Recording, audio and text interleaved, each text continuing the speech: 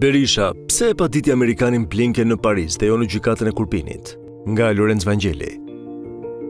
Nëse Shqipëria do të ishte ende nën komunizëm, me të gjitha gjasat, Sali Berisha do të ishte anëtar i byrosë politike të PPSH-së prej 25 vjetësh, kurse Edi Rama do të ishte në vitin e 17 të burgut. Ilir Meta do të ishte drejtor i ndërmarrjes artistike Migjeni, kurse Lulzim Basha ende pa i dorëzuar asnjë fije floku thinjave do të ishte zëvendës i Pandi Majkos, sekretar i Komitetit të Rinisë, pavarësisht se ishte thinjur që në rini.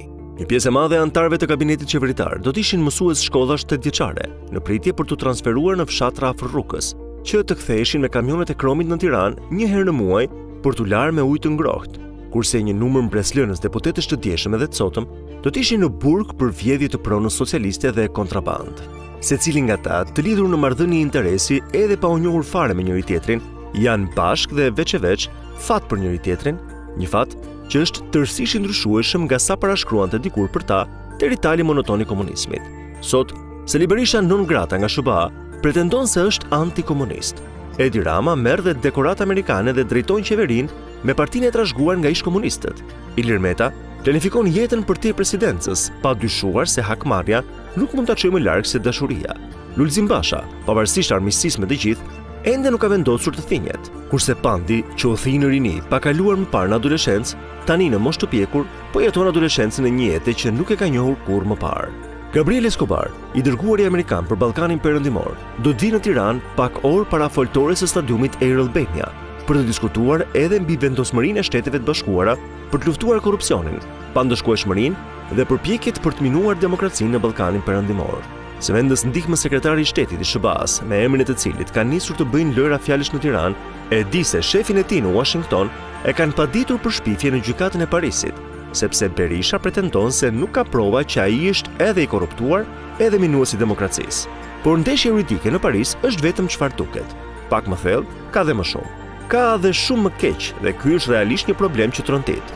Sovranistët e rilindur, konservatorët e rinj, neokomunistët me kravata mëndafshi dhe gjithfarë të marrësh gjeopolitikë të tjerë, që nuk kanë munguar kurrë në Tiranë, të bindur se janë qendra e botës dhe me mendësinë e Zërit të Popullit të viteve 7-8, kanë nisur të brohorasin për revolucion anti-banane në Tiranë. Lideri i tyre, Berisha, që një pjesë e duan, një pjesë e urren ende për inerci, premton edhe shumë më shumë beteja kundër amerikanëve, fiks duke tundur flamurin amerikan. Fati deri më tani e ka penguar të bëjë lëvizjet e tij të tjera, por është çështje kohe. Ai dhe foltoria e tij, nëse Parisi vonon apo mohon shqyrtimin e padisë, nuk do ta quajë këtë gjë fundin, por vetëm një fillim të ri, sipas avazit të vjetër që e këndojnë sot sovranistët e rinj. Sa kohë që ka Shijakun dhe Peqinin, Berisha i ka të gjitha mundësitë që të paditë në gjykatën e Kurbinit sekretarin Blinken.